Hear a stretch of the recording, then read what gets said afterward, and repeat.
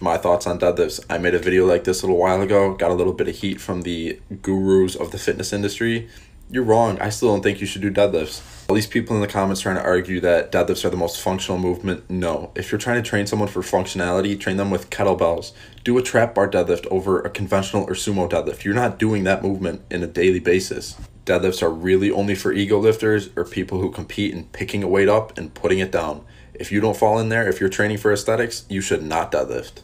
Ha ha ha ha deadlifts go BR.